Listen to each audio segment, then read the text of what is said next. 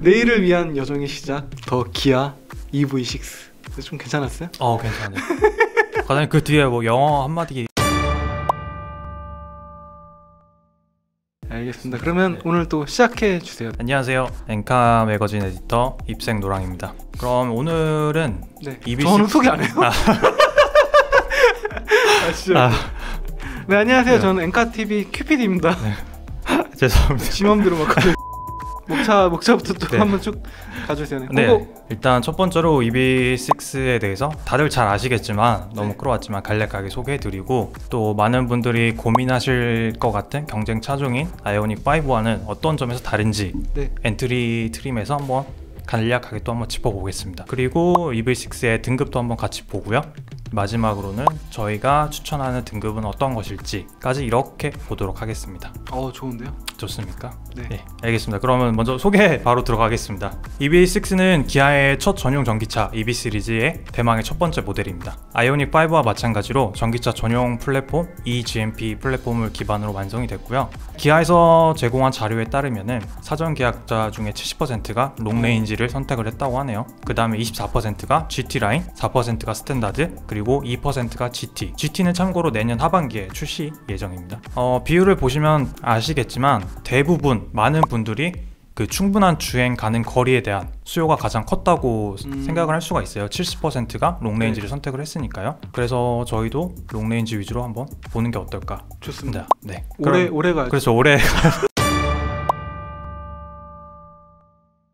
그 아, 그래서 현대에서 먼저 일단은 출시를 했잖아요. 아니, 아이오닉 5를요. 그리고 PD님은 사전 계약을 하시고 네. 또 얼마 저 전에 또 연락을 받으셨잖아요. 보조금 신청 들어간다 그래서 기다리고 음, 있습니다. 음. 오매불망. 그러니까 같은 플랫폼에서 나오다 보니까 고민은 하시는 분들이 생각보다 많으실 거예요. 근데 사실상 이렇게 제가 좀 뜯어 보니까 두 모델이 지향하는 바가 너무나 다르기 때문에 어. 솔직히 직접적인 비교는 좀 어려울 것 같아요. 뭐 예를 들어서 아이오닉 5는 거주 공간으로서 새로운 이동, 모빌리티의 개념을 제시했다고 볼 수 있다면 EV6는 아이오닉 5보다는 보다 전통적인 자동차의 개념에 집중한 것 같아요. 음. 성능이라든지 그런 것들에 대해서 그러니까 선택은 음, 듣는 분한테 음. 좀 맡기는 거죠. 지금 던지는 거죠. 어 그쵸 이게 뭐 너무나 성, 성향이 다르기 때문에 어. 뭐 이게 좋다 이게 좋다라고 말씀을 드리기가 좀 어렵지 않을까 저희 차돌박이님은 네. 그래서 뭐가 가성비가 좋냐고 계속 물어보. 그래서 그런 고민에 조금이라도 도움이 되었으면 해가지고 간단하게 그래도 비교를 한번 해드리겠습니다. 일단 trim은 EV6는 3개가 있어요. Air, Earth, GT line, 아이오닉 5는 exclusive, prestige가 있고요. 가격은 EV6가 좀 더 비쌉니다. 네. 5,120만 원부터 시작을 하고 아이오닉 5는 4,980만 원. 그러니까 한 140만 원 정도 차이가 나니까 일단 가장 큰 차이라고 할 수 있는 배터리 용량 아. 있습니다. 중요하잖아요. 전기차 중요하죠. 전기차니까. 이거 코나 EV 때문에 쫀거 아니야? 화재? 어. 아.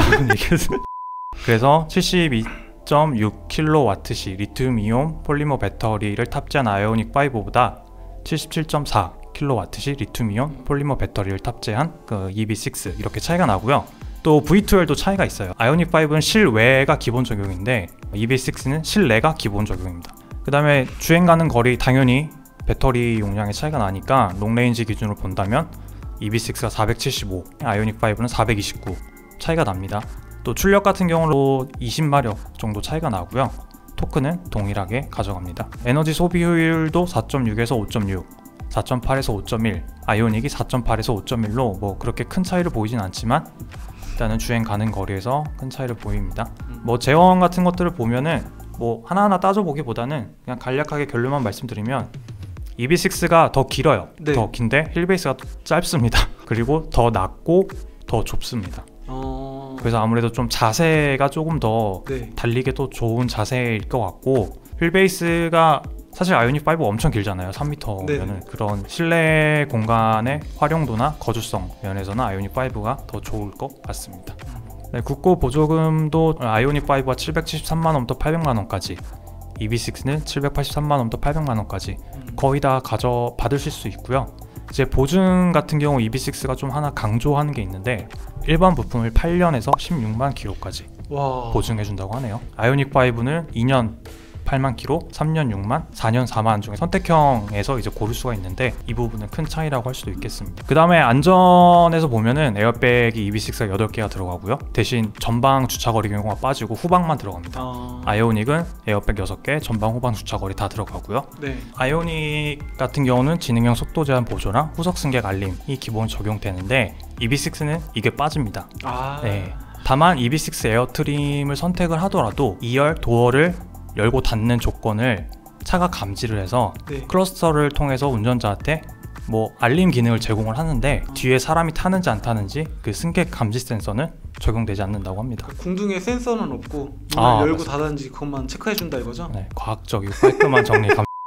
그 다음에 아이오닉 5에는 이중 접합 차음 유리가 windshield부터 1열과 2열 모두 들어가는데 EV6에는 windshield와 1열에만 들어갑니다. 그리고 또 하나 큰 차이라고 말씀드릴 수 있는 게 어, EV6에는 panoramic curved display 스포티지에 들어가고 K8에 들어간 panoramic이 들어가고 기아 밀고 있는. 네, 그 다음에 변속 다이얼. 아이오닉 5는 저희 타보서 아시겠지만 column식이잖아요. 그 다음에 그런 것들이 차이가 있는데 또 아무래도 아까 말씀드렸다시피 실내 거주성에 대한 중점을 두다 보니 아이오닉 5는 universal island가 있는데 EV6에는 적용되지 않았습니다. 음. 트렁크 용량도 531리터로 약 10리터 정도 더 크고요. 그다음에 시트 같은 경우는 이제 프리미엄 인조 가죽 시트가 들어가는 EV6에 비해서 아이오닉 5는 eco process 인조 가죽 시트. 뭐 둘 다 천연 가죽이 아니라는 점에서는 비슷할 수 있겠네요. 그다음에 선택 품목 같은 경우도 거의 대등하게 가격도 비슷하고 뭐 포함하는 게 다 동일한데 1열의 relaxion comfort 시트를 적용하는 그 선택 품목 가격이 아이오닉이 좀 더 비싸더라고요. 아, 15만 원 정도.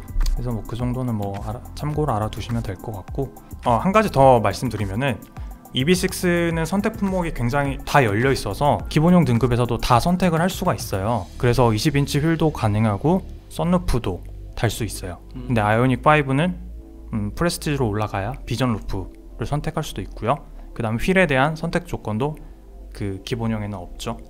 그런 점에서 차이가 있습니다. 정말 마지막으로 하나만 더 말씀드리자면 프리미엄 사운드를 기아에서는 메리디안, 현대는 이제 보스로 가는데 메리디안은 14 스피커, 보스는 8 스피커. 오 차이 많이 나는데? 예, 이 정도 차이가 하나 더 있습니다. 어. 그래서 이 정도도 알아두시면은 선택 품목을 추가하실 때 큰 도움이 되실 것 같습니다. 그래서 뭐 이- 제가 말씀드린 것만을 가지고 이게 좋다 저게 좋다라고 말- 생각하시기보다는 음, 어 이게 더 내 성향이나 라이프 맞아, 스타일에 더 맞다 라고 생각하시면 그걸 선택을 하시면 될 것 같습니다. 하지만 오늘 컨텐츠에 진짜 중요한 거는 뭐 아이오닉과의 비교가 아니라 EV6 내에서 등급별 포인트가 더 중요하기 때문에 여기에 더 힘을 실어서 같이 보시죠. 어 오늘 준비 너무 잘했는데? 주말에 좀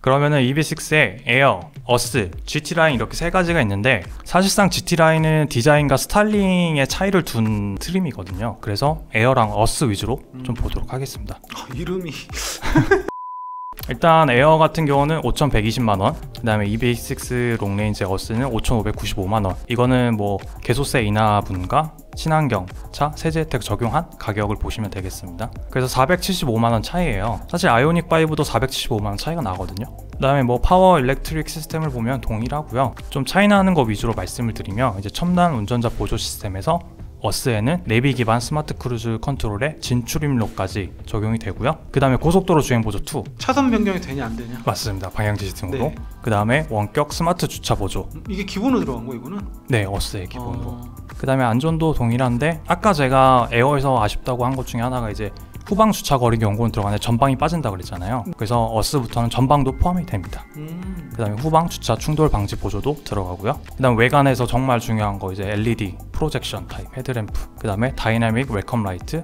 그 다음에 순차 점등 turn signal lamp. front랑 rear. 아우디처럼 이렇게 나오는 멋있잖아요. 그거. 내장에서 보시면은 에어 같은 경우는 블랙이나 그레이밖에 선택을 할 수가 없는데 이제 어스에서는 브라운까지 선택이 가능합니다. 브라운이 색깔이 좀 그렇게 가볍지 않아서 괜찮은 것 같더라고요. 저 약간 황토방 같던데. 아 그럴 수도 있겠다 황토바.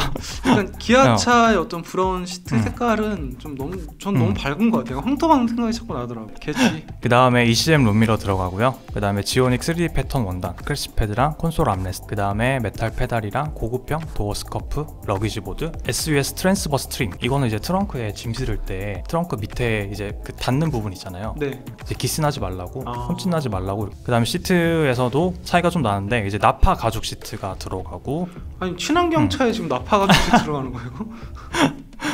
그 다음에 앞좌석에 relaxion comfort 시트 들어가고 동승석 파워 시트, 동승석 walk-in device, 동승석 허리 지지대, 그 다음에 뒷좌석 열선 사실상 이거는 패밀리카로서의 필요한 부분을 거의 다 충족하고 있다라고 보시면 되겠네요 네. 그 다음에 편의 사양에서도 surround view monitor랑 후측방 모니터, 운전 자세 메모리 시스템, easy access 다 들어가니까 어스에 굉장히 많은 편의 사양이 들어가죠 옵션을 안 넣고 기본이라는 거야?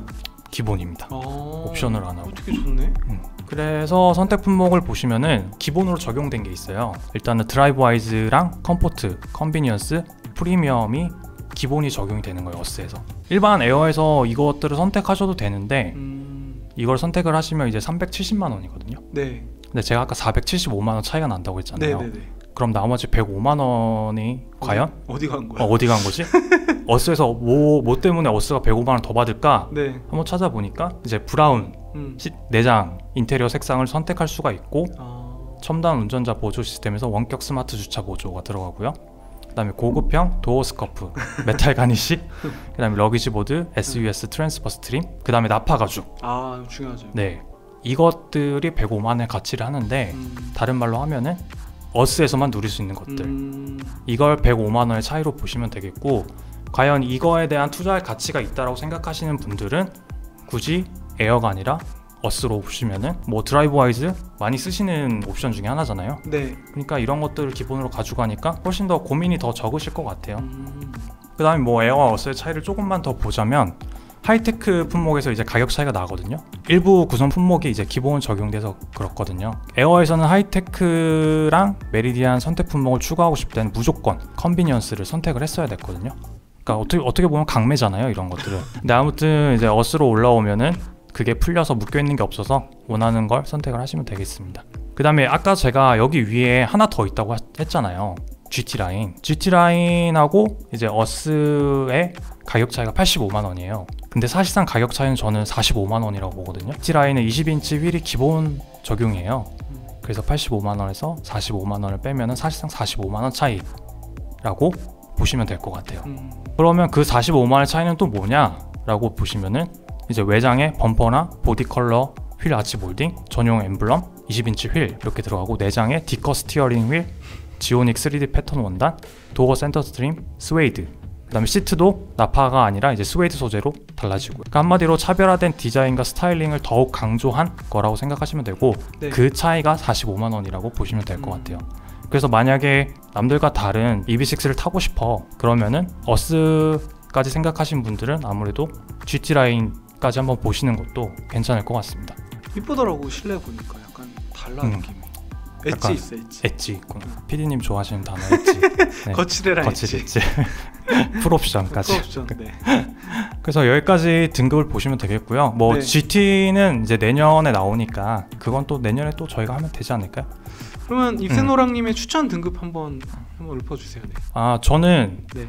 드와 Drive Wise랑 comfort, 프리미엄, 뭐 convenience 이런 것들을 정말 저는 되게 중요하게 생각을 하고 네. 그다음에 가죽 시트 네. 제 몸이 제 옷이 닿는 곳은 굉장히 오. 좋은 곳으로 이렇게 뒤덮여 있어야 하기 때문에 네. 나파 가죽 시트도 필요하고 또 원격 스마트 주차도 좁은 공간에서 좀 많이 좀 활용성이 있는 것 같더라고요. 음. 그래서 저는 어스 어스. 아예 어스로 갈 것 같고 네. 만약에 뭐 옵션 더 추가하라고 한다면 뭐 와이드 선루프 정도 하나 음. 더 생각을 할 것 같아요. 그럼 얼마? 6천만 원은 안 넘습니다. PD님은 어떠세요? 저는 아 이게 쓱 봤는데 GT 라인의 어떤 좀 엣지가 너무 좋아갖고 일단 음, GT 라인 올리고 음, 음.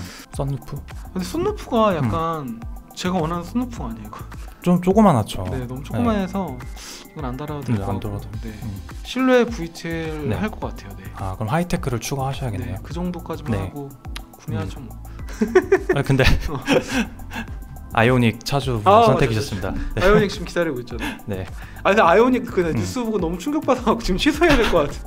50대 이상이 가장 많이 그럼 준비한 건 여기까지인가요? 오늘 출시가 됐기 때문에 빠르게 좀 준비를 했는데 네. 부족한 부분은 저희가 나중에 다른 컨텐츠로 뭐 실차를 보든 뭐 시승 영상에서 좀 더 자세히 전해드리도록 하겠습니다. 어 육생노랑 많이 컸는데 준비를 너무 열심히 해가지고 피디님이 항상 많은 가르침과 보살핌 보살핌 속에서 아무튼 저희 열심히 하고 있으니까 구독 네. 좋아요 꼭 부탁드리고요. 네, 구독, 오늘 좋아요. 여기까지. 네 여기까지 끝 네 끝. 안녕. 안녕.